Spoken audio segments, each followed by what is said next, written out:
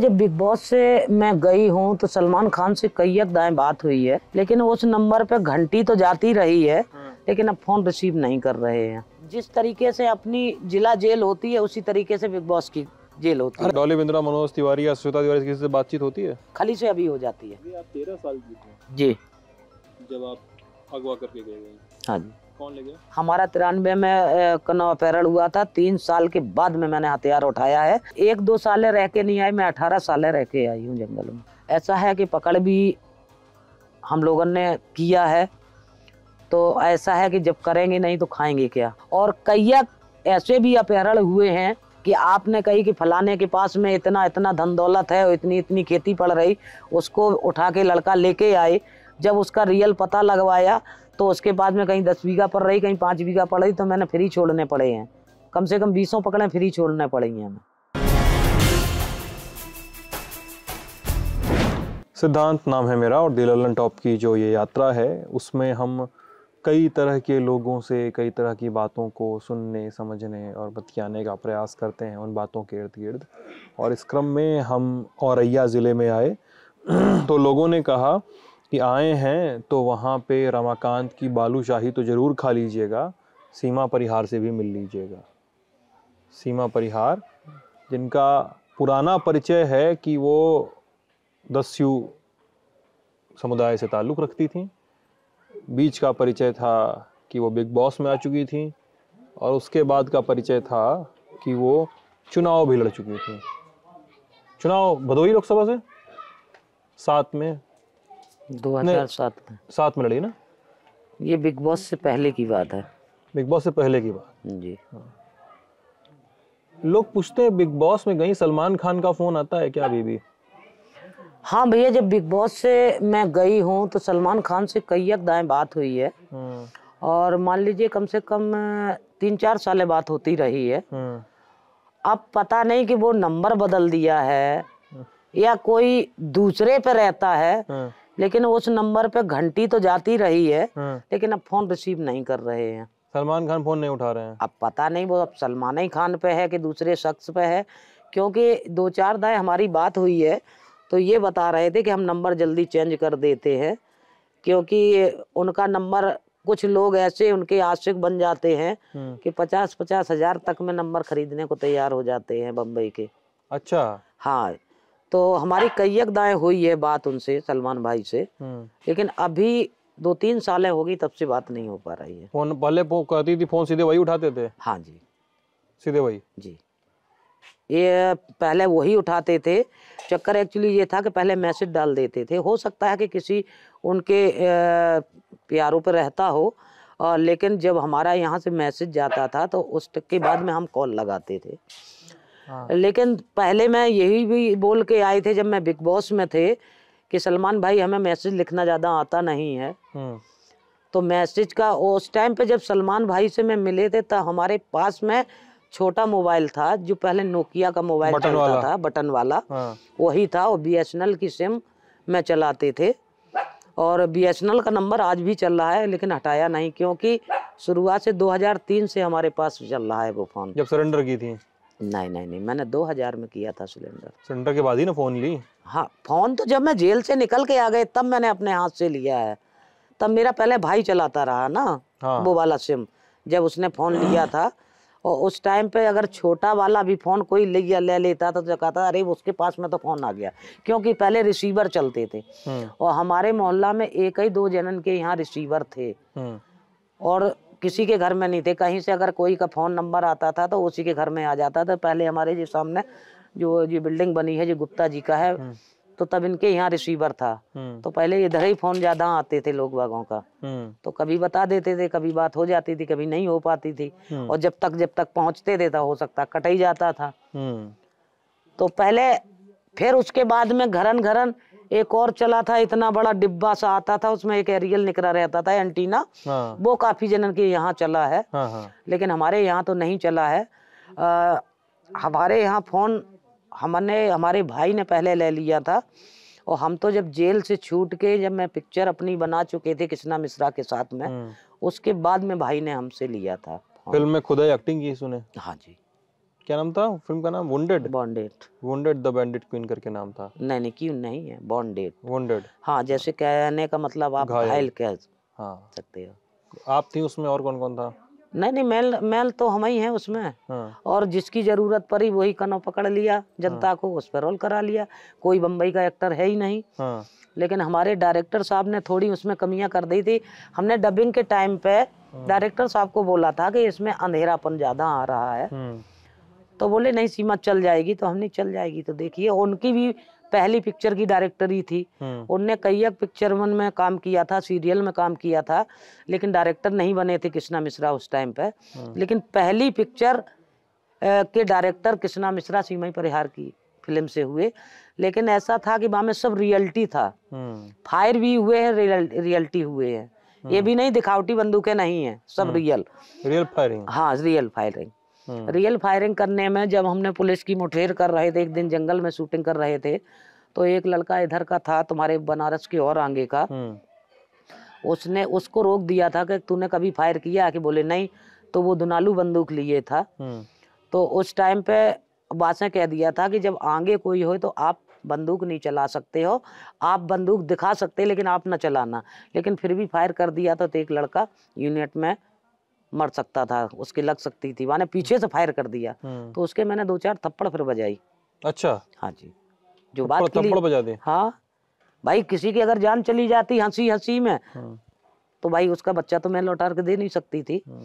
और शूटिंग के टाइम में भी हाई कोर्ट का डायरेक्शन था तो डेढ़ सेक्शन हमारे पास में पीएससी रहती थी जहाँ शूटिंग करते थे। और जिस थाने के आसपास कर रहे तो वो थाने की पूरा फोर्स रहती थी। क्योंकि रियल शूटिंग हम जहाँ जहाँ जंगल में रुके हैं हम्म। जैसे तुम्हारे औरैया का हुआ जालौन का हुआ और तुम्हारे कानपुर देहात का जंगल हुआ हम्म। कुछ मध्य प्रदेश का आ जाता है। हम्म। वहीं वहीं मैंने शूटिंग ली है रियल जंगल में। हम्म। तो उस टाइम पे दस्युओं को सर्राटा ज़्यादा भी था। उस टाइम पे हम निर्भय से गोली भी चला चुके थे एक दो दाए। हम्म। तो इस वजह अच्छा गोली वोली चलाने की बात होती है। निर्भय का भी नाम ले लिया आपने। जी। आप पर सत्तर केस के मुकदमे थे ना? सत्तर सत्तर मर्डर के केस थे। नहीं। कितने मर्डर के केस थे? हम पे टोटलिंग पैंतीस मुकदमे थे। मर्डर के कितने? उसी में मर्डर के थे उसी में अपहरण के थे। हम्म। मर्डर के हमारे पास में दो ही थे सो एक तीन सौ सात थी एक मर्डर था। हम्म। बड़ी और वो कानपुर देहात का था एक ये सिकंदर बाकी राजपुर थाने का था। हाँ उसमें मैं बरी हो गए हैं 2005 में। हम्म। कहानी क्या सीमा परिहार की? बहुत बार कैमरे पे बताई होंगी बहुत जगह बताना पड़ा होगा। इतनी बार मतलब यूट्यूब खोलिए तो सीमा परिहार सीमा परिहार सीमा परिहार ऐसे ऐसे चलते जाओ चलते नहीं जाओ। नहीं यूट्यूब पे पहले नहीं थे। हाँ। अ, अभी मान लीजिए कि दो तीन साल पहले जब ये कोरोना काल नहीं था हाँ। अ, उसके दो तीन साल पहले से हमने यूट्यूब पे डालना चालू करा था। उसमें आपने देखा होगा कवि कुमार मनोज का। हाँ। ये इटावा के रहने हैं रहने वाले हैं। तो हम लोगों ने घर ही में प्रशस्ति चैनल बनाया है हमने और मनोज जी ने मिलके। हम्म, हम्म, उसी यूट्यूब पे मैं बनाते लेकिन जब से मनोज जी का बराबर फ़ोन आ रहा है अब तो नकलऊ में ऑफ़िस हो गया। और लेकिन तब से हम नहीं गए हैं। जब से कोरोना काल आया है तो तब से मैं यूट्यूब में डालने लगे हैं। पहले मनोज जी ने सबसे पहले एक दाएँ वीडियो डाला था बना के तो मैंने इटावा के पास में काली वाहन मंदिर पड़ता उसी जंगल में गए थे। जंगल में बैठ के मैंने रियल वीडियो बनाया था। अच्छा। तो पहले आदमी ये देखता है कि कोई माल खरीदने के पहले अगर ये बिकता है मार्केट में कि नहीं बिकता है। लेकिन ये पता नहीं था कि सीमा परिहार के साथ में अगर किसी तरीके का वीडियो लेंगे तब भी लायक होगा। हम्म। क्योंकि हम भी नहीं जानते थे कि हमारे चाहने वाले हिंदुस्तान में इतने बैठे हुए हैं। लेकिन हमें तो तब पता लगा जब हम बिग बॉस में गई हूँ। हम्म। अच्छा ये बताइए बिग बॉस में गई आप? जी। आ, लेकिन उसके काफ़ी पहले चलेंगे आप तेरह साल की थी। जी। जब आप अगवा करके गए गई। हाँ जी। कौन ले गया? ये लाला राम कुशवाहा नाइन। किधर गई सबसे और रैया की रहने वाली है मूलतः आप? हम रहने वाले पहले हमारा जब हमारा अपहरण हुआ था तिरासी में हम्म, तो तब मेरा इटावा जिला लगता था तब और ये जिला बना ही नहीं तब था। इटावा जिला लगता था जी। ठीक है हाँ। अजीतमल थाना लगता था। तिरासी में अपहरण हुआ आपका? जी हाँ। गई जंगल में? जी। फिर? फिर वहाँ पे मैं तीन साल रही मैं हथियार नहीं पकड़ा है। और मैं यही कहते रहे कि मैं घर जाएँगे घर जाएँगे। लेकिन वहाँ से नहीं निकल पाए। हमें यही पता नहीं। पूछना है सीमा जी पूछ सकते हैं आपकी अनुमति हो तो। नहीं नहीं पूछिए। एक फ़िल्म आई थी जो फूलन देवी पे बनी थी। हाँ जी। वो मतलब बहुत अच्छी फ़िल्म है हम्म, और फूलन देवी की कहानी भी बहुत आ, हम्म, आ, ज़्यादा उदाहरणों से भरी हुई है। जी। तो अपहरण के बाद हाँ। जंगलों में अ, कन्याओं के साथ लड़कियों के साथ जी। क्या उनको देखना पड़ता है? क्या झेलना नहीं। अपहरण के लिए अपहरण कर सकते हैं बागी लोग, लेकिन उसके साथ में अत्याचार नहीं करेंगे। बस वही अत्याचार है कि आपको अपराधी दुनिया में डाल देंगे, लेकिन अगर ये देखा जाए कि शारीरिक शोषण करते हैं, नहीं करते हैं। क्योंकि अगर जितना दस्यु बना है, लेकिन किस न किसी परिस्थितियों में बना है, नीके भले कोई नहीं जंगल में जाके अपना जीवन काटेगा।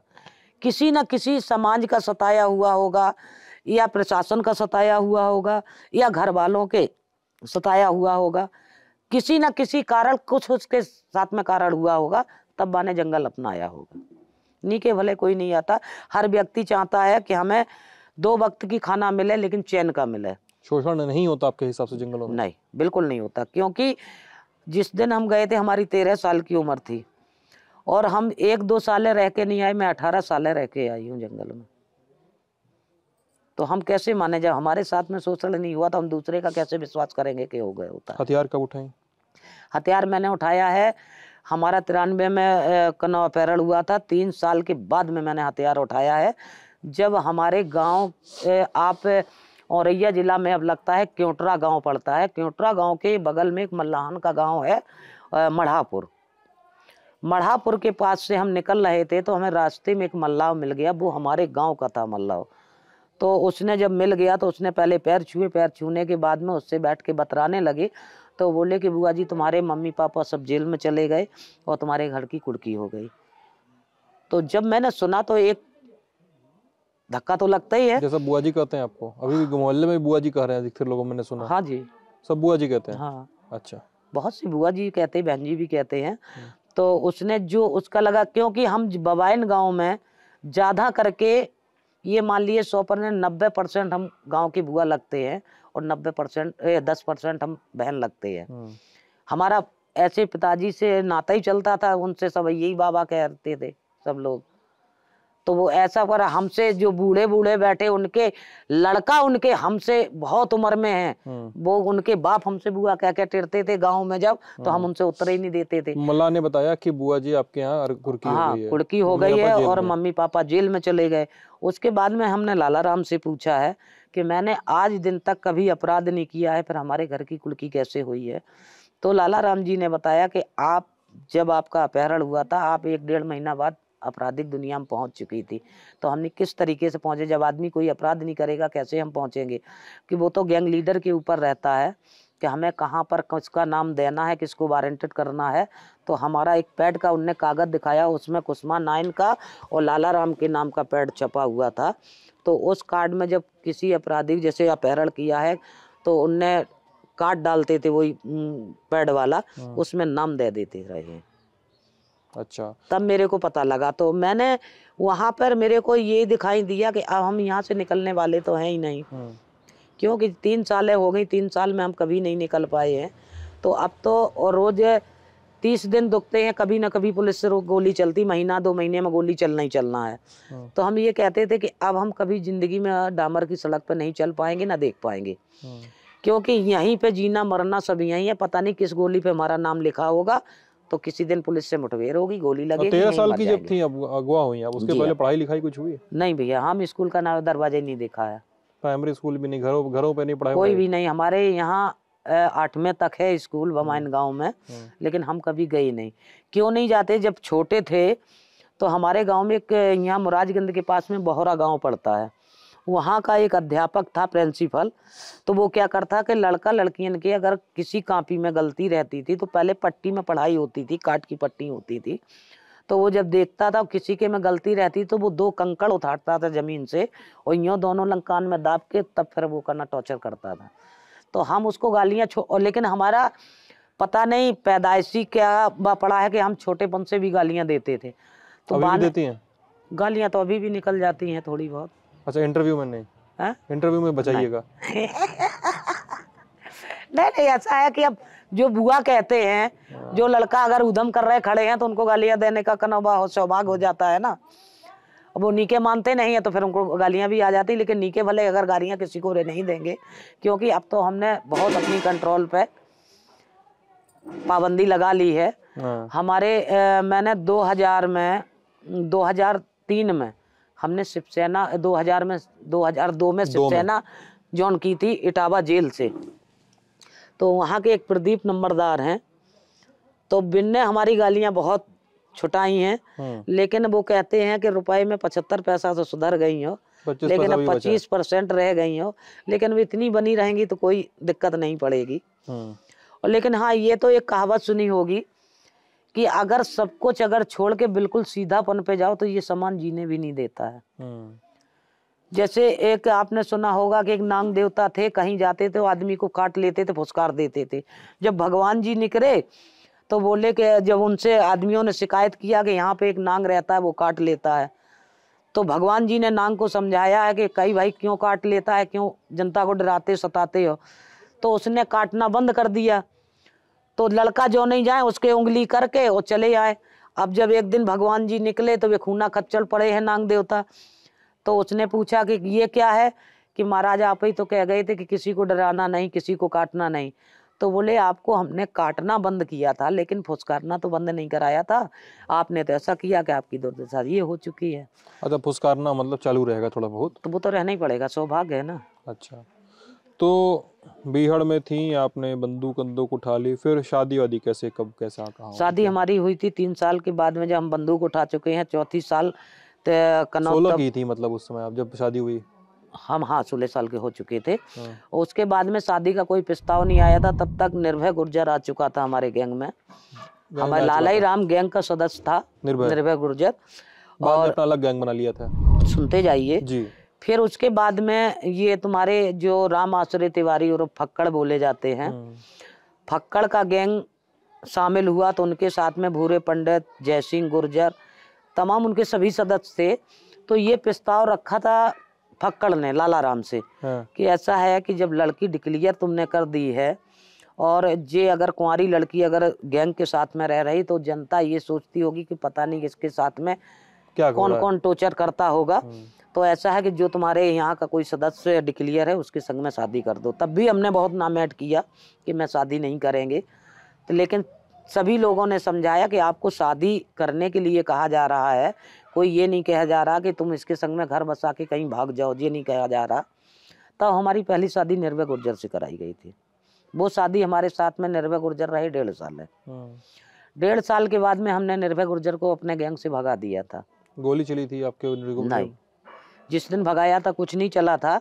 ऐसा हुआ था कि एक दो गाँव से हमें निर्भय गुर्जर की शिकायतें मिली थी। हम्म, और जिस दिन भगाया था तो जमुना के किनारे अ, अ, आपने अगर कभी सुना हो सिकंद सिकन्ना बरतौल है। तो सिकन्ना इनको हमने भेजा था। तो कुछ काम से वहाँ जाके उसके साथ में तीन और गए थे सदस्य। और ये सिकन्ना गाँव में जाके उसके बाद में बीजलपुर की जा तरफ़ मिस्रपुरा गाँव पड़ता है। तो मिस्रपुरा गाँव में एक नाई के घर में एक औरत के साथ में छेड़खान करके आए थे। तो ये लोग लौटे हैं सुबह के चार बजे। जब हम लोगों ने पूछा कि आप लोगों को इतने टाइम कहाँ लगा तो इनने नहीं बताया। जब उनको चार गए थे तो चार पर जब डंडा लेके पूछा गया तो वो तीन गए थे तो बोले कि ऐसे ऐसे आए हैं और जे जे गाँव में आके ये एक नाई के घर में गए थे। इनने एक औरत के साथ में छेड़खान करके आए। तो उसी दिन से छेड़खान बस बस छेड़खानी की? जी। निर्भय ने क्योंकि दो शिकायतें और मिल चुकी थी तो हमने कि इसके साथ में रहना गलत है इसको गैंगई में नहीं रखेंगे। तो वहीं से निर्भय गुर्जर को पाँच बजे वहीं सुबह ही सुबह पाँच बजे गैंग से भगा दिया था। अच्छा। कि तेरे को मारेंगे तो नहीं लेकिन तू यहाँ से गैंग में नहीं रखेंगे वहीं से भगा दिया था। फिर निर्भय गुर्जर के जाने के बाद में निर्भय गुर्जर ने कम से कम एक साल बाद हमसे गोली चलाई है। इनने भूरे पंडित से और जयसिंह से कहा जाके कि सीमा परिहार तो आने को तैयार थी लेकिन लाला राम ने आने नहीं दिया। तो वो लोग ने कहा कि कैसे आएँगी? तो बोले कि तुम उनसे गोली चलाओ हमारी आवाज़ सुनेगी सीमा परिहार अलदौली चली आएँगी अच्छा। इस तरीके से उनने आके गोली चलाने के लिए आए तो हम जंगल में उस टाइम पे थोड़े अलग को रुके थे जे आके इनने दो तीन फायर किए। फायर करने के बाद में जो चौंपे चराने वाले जो बरेदी होते हैं उनको मार पीट करके चौपे ने हका दिए जंगल से। एक भी? हाँ जी। एक भी गोली लगी आपको? नहीं। उसके बाद में सुन लीजिए तो हमने कहा हमने कि अभी तो दो तीन बज रहे चार और जंगल से जानवर अभी घर को जाने लगे। बात क्या हो गई है? जब हमने एक लड़के को जाके हमने पूछा जाके एक लड़के को भेजा जी हमने कि जानवर चराने वाले से पूछिए कि इतने खन चौपे क्यों हाँक रहे जंगल में से? हम्म, तब उसने बताया कि पता नहीं कोई गैंग है और कहीं उनको उनको गाड़ी दे रहा नाम लेके और कह रहा है कि कहाँ पे कहीं लाला राम और सीमा परिहार दुखे हैं कि उनको बताइए नहीं तो मैं सबे मारेंगे। ठीक है। तो वहाँ से बस उठे जब हम जंगल में वहाँ पे जहाँ फायर किए थे पहुँचे तो कोई नहीं दिखाई दिया। तो मैंने एक जगतपुर गाँव पड़ता है मैयस्ता से ऊपर वहाँ पे जाके मैंने ऐसी हवाई फायर दो तीन चार ठोंक दिए। हम्म, हमने की सोचा हमने कि अगर इधर उधर होंगे तो अगर जब आप खुद ही देंगे और नहीं होंगे तो चले गए होंगे निकल के। तो जब मैंने फायर चार अपने हवाई कर दिए तो कम से कम बीस मिनट बाद मेरे ऊपर फायर आया। हम्म, तो मैंने उनको 11 किलोमीटर पीछे को भगाया।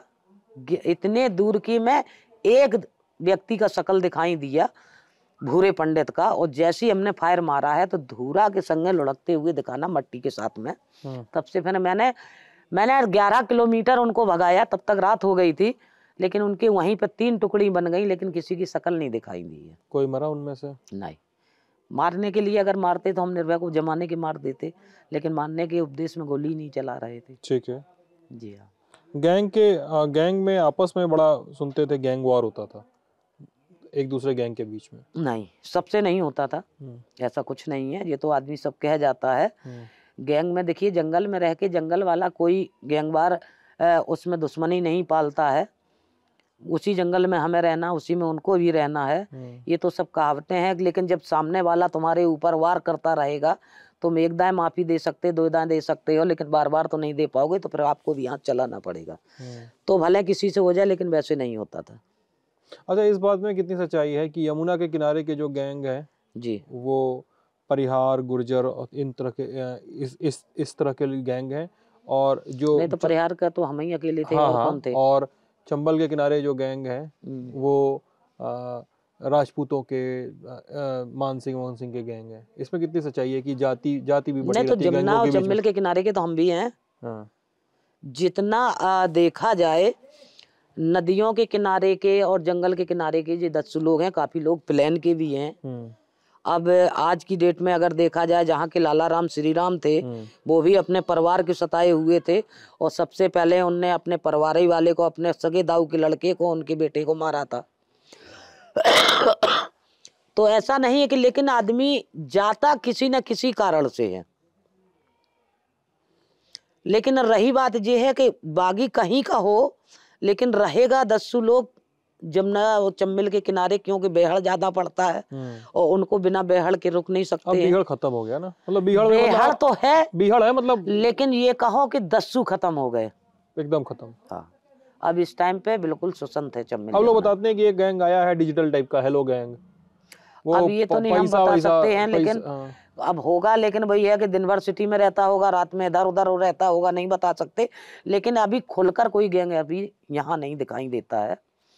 और बाहर कहीं होंगे तो नहीं बता सकते। गैंग से लड़ाई हुई फिर आगे की कहानी आगे की कहानी कुछ नहीं उनने दो दाएँ गोली चलाई उनको गोली चला दिया मैंने उनने फायर किए मैंने कर दिए। मुठभेड़ से आगे बढ़ी है। हाँ जी तो मुठभेड़ होके वे अपने गैंग में रहे हम अपने गैंग में रहे। उसके बाद में जब 2000 हम काम क्या होता था आपका गैंग में? हाँ जी। आपका गैंग में काम क्या होता था? कुछ नहीं बस अकेला रहना है। हाँ, कितने मेंबर थे गैंग में? गैंग में हते पंद्रह बीस आदमी। कुल पंद्रह बीस। बस। ठीक है फिर?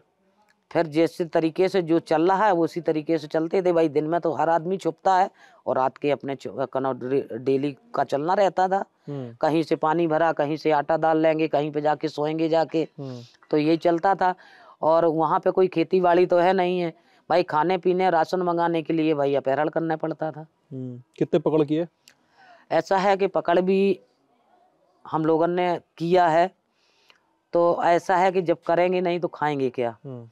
क्योंकि जब आ पंद्रह दिन बीस दिन में हो सकता महीना में चार दाएँ चले जब गोली चल रही है और हम लोगन को गोली सब प्राइवेट मंगाना है कोई लाइसेंस तो है नहीं किसी के पास हम्म, तो भाई एक रुपए की चीज़ है हमें चार रुपए में मिलेगी। हम्म, तो भाई आमलेसन के लिए और खान पेट के लिए खाने के लिए है।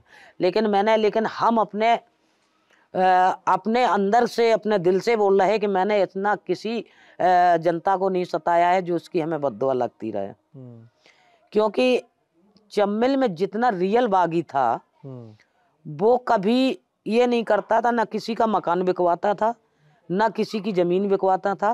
पहले के लिख दिया जाता था कार्ड में जो लेटर जाता था कि आपके हैसियत से ज़्यादा हम्म, और जब तक हमारे पास आप आओगे ना किसी ना किसी व्यवहारी दो चार को लेके आ पाओगे तो कुछ उसके बा में छोड़ना पड़ेगा। जहाँ तुम्हारी हैसियत चार लाख की है, मैंने दो लाख लिखे हैं, और जब तक आपकी छूटेगी तो लाख पचास हज़ार पे छूट जाएगी। मैंने जनता को कभी ऐसा नहीं किया कि उसकी खेती बिकाई हो। और कई ऐसे भी अपहरण हुए हैं कि आपने कही कि फलाने के पास में इतना इतना धन दौलत है और इतनी इतनी खेती पड़ रही, उसको उठा के लड़का लेके आए। जब उसका रियल पता लगवाया तो उसके बाद में कहीं दस बीघा पड़ रही कहीं पाँच बीघा पड़ रही तो मैंने फ्री छोड़ने पड़े हैं। कम से कम बीसों पकड़े फ्री छोड़ने पड़े हैं हमें। हम्म, ऐसा नहीं है। भाई जब उसके पास में आपने उसको बता दिया कि डेढ़ सौ बीघा खेती है और उसके पास में पचास बीघा नहीं पड़ रही उसके पास में दस बीघा खेती पड़ रही तो दस बीघा वाले अपने बच्चे पालेगा कोई वो बदमाश को देगा आके? ठीक है चलिए निर्भय गुर्जर कांड और इसके आगे बढ़ते हैं। जी। मिला जुला के फिर क्या हुआ जीवन में? शादी वादी फिर कब हुई? आगे क्या हुआ? नहीं नहीं तो हमारी जब निर्भय गुर्जर से छूट गई थी तो ठीक है। जंगलई मैंने लाला राम से की थी। हाँ। उनसे हमारे एक बेटा है। हम्म, हम्म, और उसके बाद में जब लाला राम एनकाउंटर में मारे गए हैं हम्म। तो ये मई के महीने में खत्म हुए थे। कब मारे गए लाला राम दो हज़ार में। साल 2000 में। हाँ जी। ठीक है। और एक दिसंबर को मैंने आज समर्पण किया था। मैंने अपने बड़े भाई से जो आज दुनिया में नहीं है उनसे मैंने बोला था हनी भैया जीना मरना भगवान के हाथ में होता है हमारे तुम्हारे हाथ में नहीं होता है। अगर हमें मुकद्दर में लिखा होगा बाहर आने का तो मैं बाहर निकलेंगे। तो मैंने 2000 में समर्पण मैंने औरैया में किया था। कौन करवाया था? अ, हमारे बड़े भाई ने। बड़े भैया ने? हाँ जी। लाला राम जी का इनकाउंटर कैसे हुआ बता सकती हैं? लाला का राम का कुछ नव इनके क्षेत्र से मुखबरी लग के आई थी उस टाइम पे जब लाला राम ऐसा था कि हमारे जब बच्चा हुआ था तो बच्चा हुआ था बेला में हम्म। और उस टाइम अस्पताल में हुआ था कहीं पे कहाँ गाँव नहीं हम मैं कमरा में कपरा कमरा कस्बा है बेला कस्बा है हाँ। हल्का सा तो मैं एक यादव जी का मकान लिए थे वहाँ पे मैं सीमा परिहार के नाम से नहीं थे दूसरे नाम से थे। तो हमारे बच्चा हुआ था उसके बाद में फिर मैंने कमरा चेंज कर दिया था मैंने रूरा में कमरा ले लिया था। हम्म, रूरा में कमरा लिए थे तो उस टाइम पे हमारी भाभी भी बड़ी वाली वहीं पे थी, बड़ा भाई भी था तो इसके बच्चा हुआ था छः दिन का बच्चा था। तो लाला राम घर पे थे, पाँच दिन का बच्चा हो गया था, छठी अटी जो वगैरह होती है, उसमें सवेरे सवेरे छठवें दिन बोले कि हम दूसरे गाँव में जा रहे तो इनने मोटरसाइकिल उठाई चले आए। लेकिन हम लोगन को कहीं अंत बताया, और गए कहीं अंत।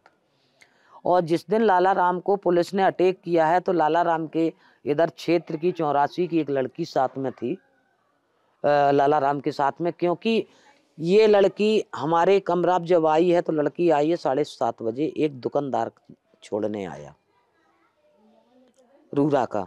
तब भी हमें उस लड़की भी ने नहीं बताई कि यहाँ पे लाला राम पकड़ चुके हैं। हमें पता लगा है दस बजे रात के। अच्छा। ऐसे लगा है कि जिस मकान में हम रहते थे उस मकान का मकान मालिक सिवली में सिवली के आगे चौबेपुर ग- पड़ता है कस्बा। वहाँ पे एक बैंक में जाता था नौकरी करने के लिए। हम्म, जब वो आया तो उसने हमारे कमरे का गेट बजाया। जो कमरे का गेट खोला हमने कहा हाँ भैया बताइए। तो उसने एकदम बोला कि दीदी तुमने कि हमारे संग में बहुत धोखा किया। हमने क्यों? कि आपका नाम कहीं गुड्डी नहीं है आपका नाम सीमा परिहार है। हम्म, हमने क्यों कौन कह रहा है? तो बोले कि वो जो कई जीजा आते थे उनका नाम कई कना फौजी जो भान सिंह हुआ थे भान सिंह नहीं थे लाला राम थे और वो कई यहाँ पे चार बजे पुलिस ने उठा लिया हो सकता उनका एनकाउंटर हो गया हो। पुलिस ने मतलब उठाया था फिर इनकाउंटर हुआ हाँ उसके बाद में जब उसने भाई मेरा मेरे से कहा है तो उस टाइम ये लगी कि हमारे पैरों तरह से ज़मीन खसक गई। किसी वारंटेड आदमी का डायरेक्ट कोई नाम लेगा तो उसको यही लगेगा कि पैरों तरह ज़मीन खसक गई। तो उस टाइम पे हमारा भाई बाहर टहल रहा था और सागर सो रहा था छत पे छोटे वाले भाई के साथ में। तो मैंने जिस तरीके से बैठे थे, अपने भाई से कहा कि सागर को उठा के ले आइए जिस तरीके से बैठे थे, मैंने उसी तरीके से निकल के सीधा रूरा स्टेशन वहीं लगा हुआ है थोड़ा था, दो खेत की दूरी पे। मैं गए तो वहाँ से भगवान कृपा से गाड़ी ये खड़ी थी, मैं बिना टिकट लिए उस गाड़ी में बैठ गए। गाड़ी में बैठे जाके मैं सेंटर उतरे जाके कानपुर। कानपुर में मैंने दो घंटा के लिए कमरा लिया एक कमरा पे, किराए पे, होटल में। वहाँ रुके और पाँच बजे उतर के आ गए, फिर वहाँ से बैक मारा। तो मैं दूसरा शिवली होत भाई आए, दूसरे दिन पेपर में दे दिया, लाला राम का एनकाउंटर हो गया और मेरा नाम भी आ गया, मेरे बेटे का नाम भी आ गया। तब इससे मैं अपने बेटे से रामू कहते थे, जब रामू नाम पेपर में आ गया तो वहीं पे नाम चेंज कर दिया बेटे को। बेटा मेरा मात्र तेरह महीना का था उस टाइम पे। तो फिर मैं वहाँ से भाज गए फिर तो यूपी एमपी कहीं दिल्ली कहीं वैसे फिर मैं कर करके जब भागते भागते काफ़ी दिन हो गए तब मैंने अपने बड़े भाई से कहा जिससे करिए चाहे नेता से करिए चाहे वहाँ से करिए उस टाइम पे पुलिस प्रशासन भी दबाव बहुत डाले हुई थी।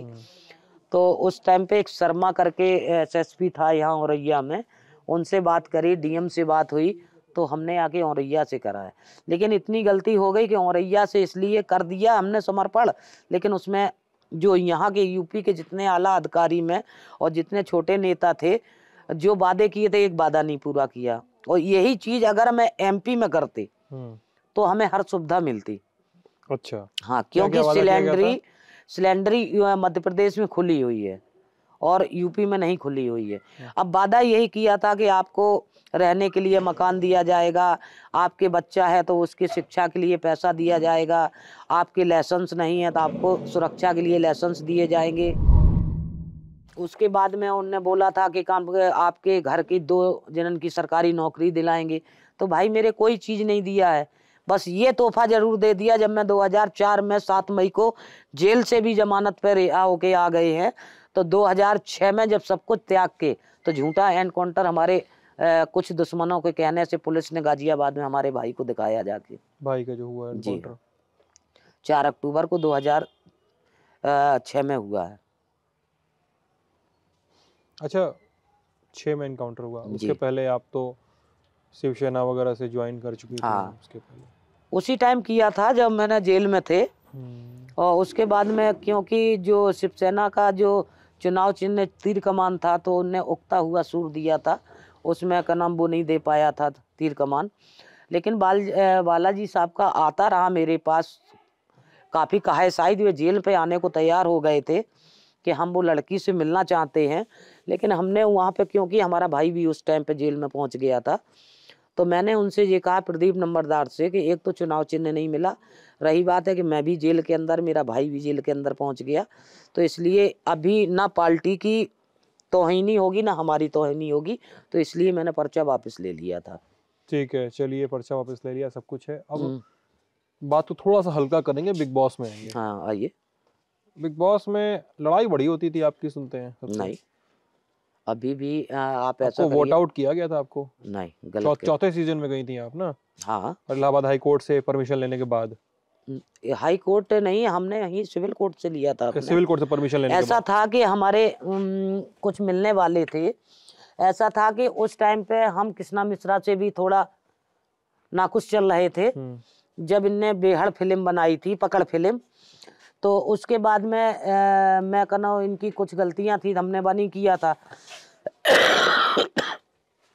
हमारे पास एक आनंद चौहान करके उनका नंबर आया था मैं ग्वालियर जा रहे थे। तो उनने हमसे कहा कि मैं एक चैनल के लिए आपको ले रहे लेकिन जहाँ तक है, अपने घर में भी नहीं बताओगे, ना दोस्तन को बताओगे, ना मीडिया वालों को बताओगे।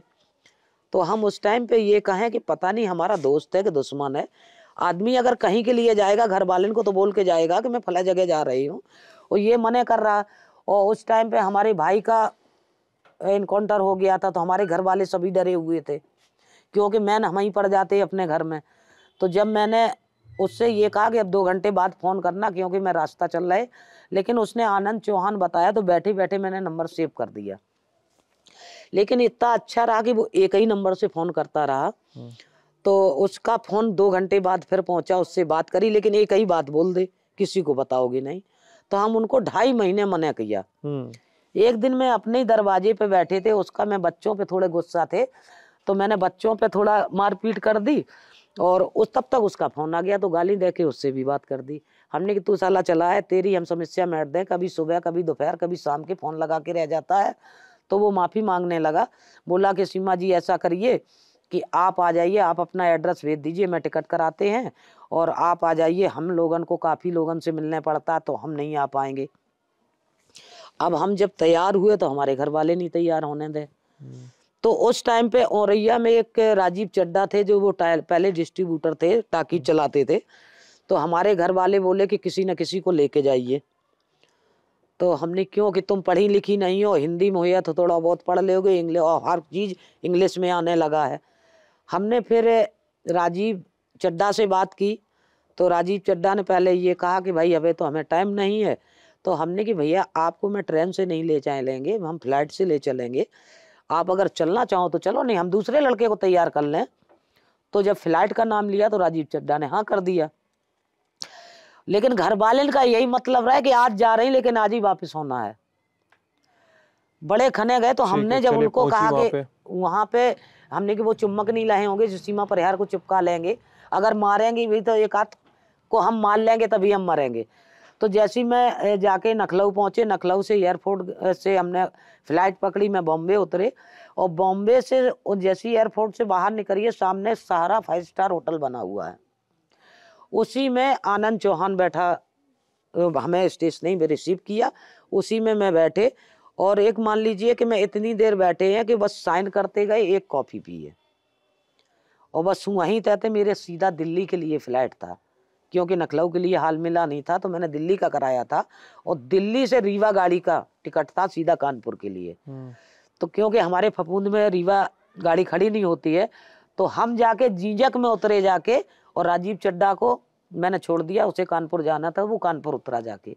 इस तरीके से मैं बिग बॉस में के लिए हाँ करके साइन करके आई लेकिन मैं बोल के आए थे कि हाई कोर्ट का डायरेक्शन मेरे पास है कि मेरे को हर सप्ताह कोर्ट कोर्ट में पेश होने पड़ता है। हम ऑल इंडिया में कहीं रहे कहीं हो सकते हैं।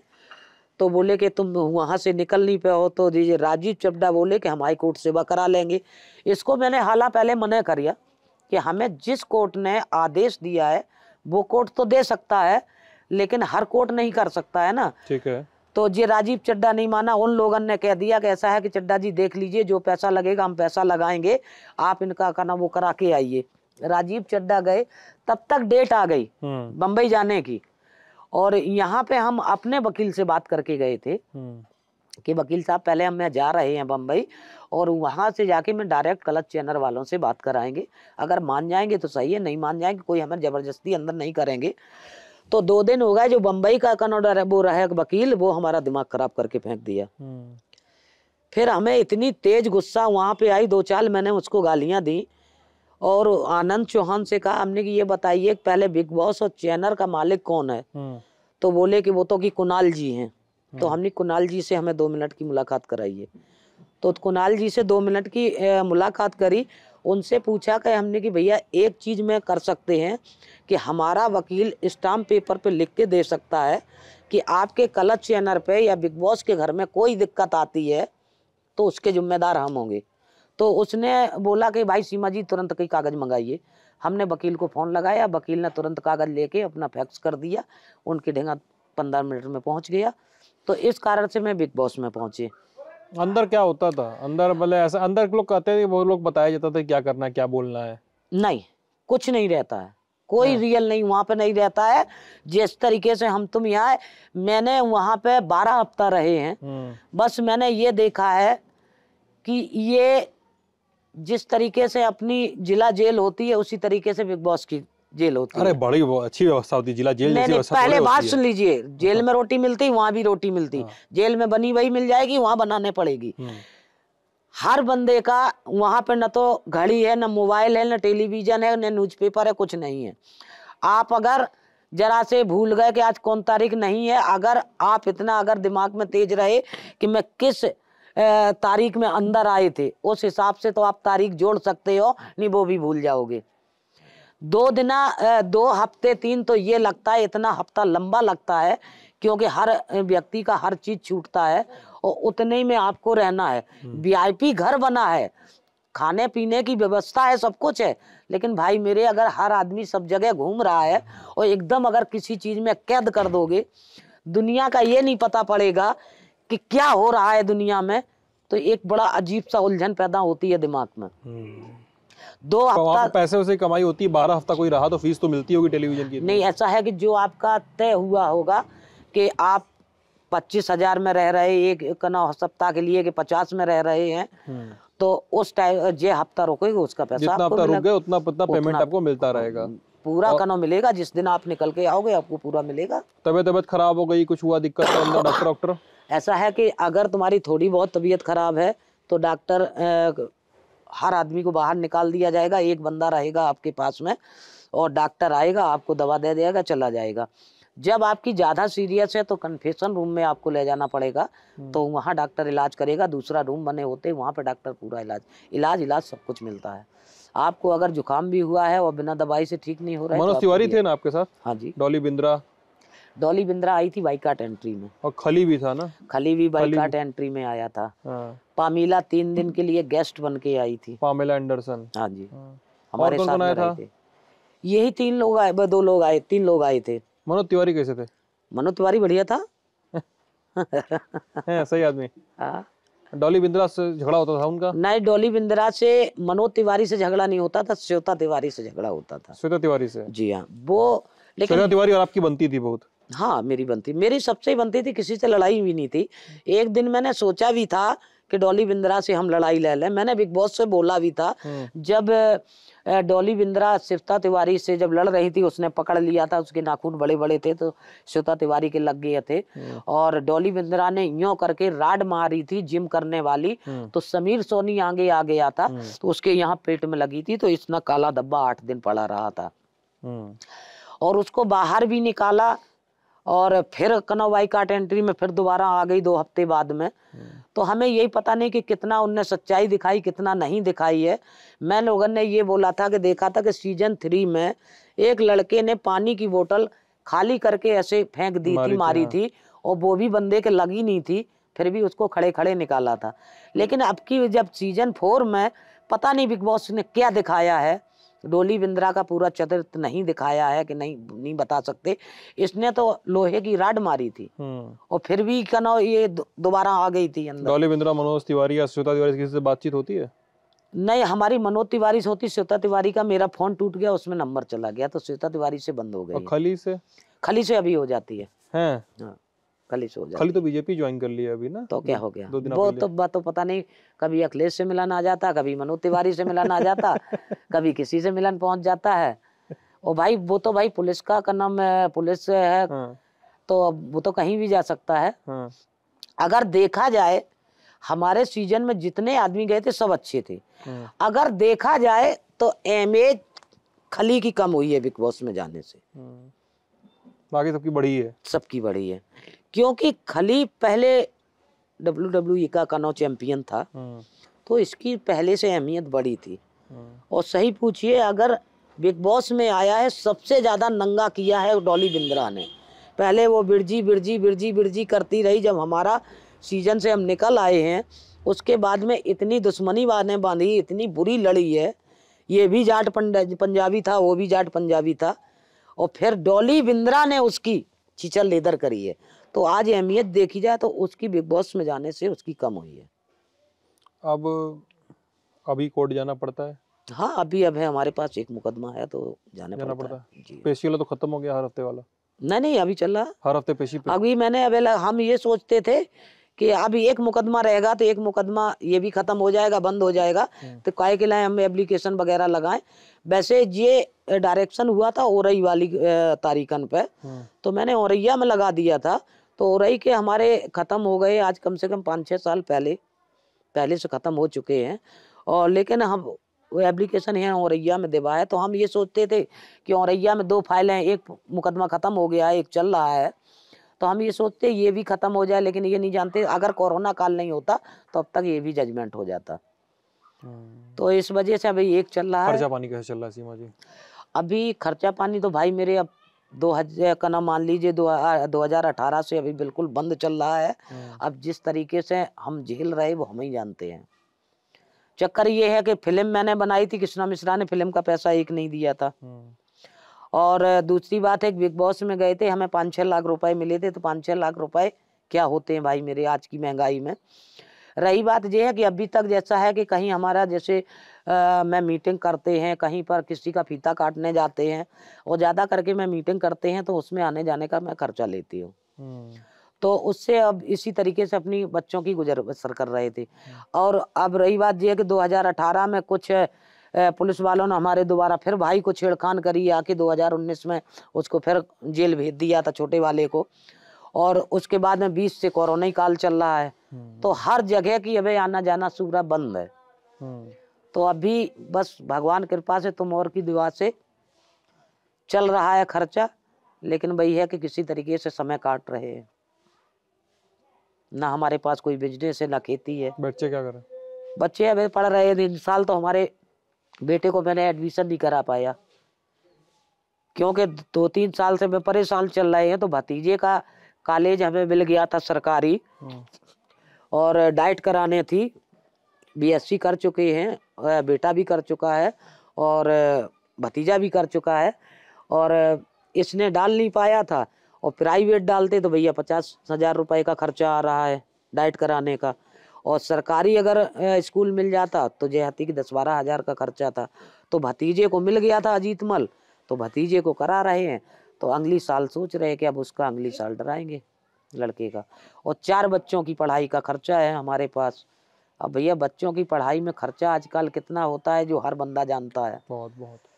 कि अब तो पहले की पढ़ाई और अब की पढ़ाई में बहुत अंतर हो गया। अब आपकी तरह तो पढ़ाई अगर बच्चे की दो ही बच्चे हैं आपके पास में और आपने अगर पढ़ाई कर ली तो बहुत बड़ा काम कर लिया।